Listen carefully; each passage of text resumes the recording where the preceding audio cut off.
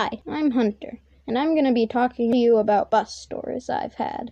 Okay, so we were on the bus being idiots, and my friend David pulled out a milk, and we went, okay. At this point, we're just tossing the milk around, and got any fives? Go fish.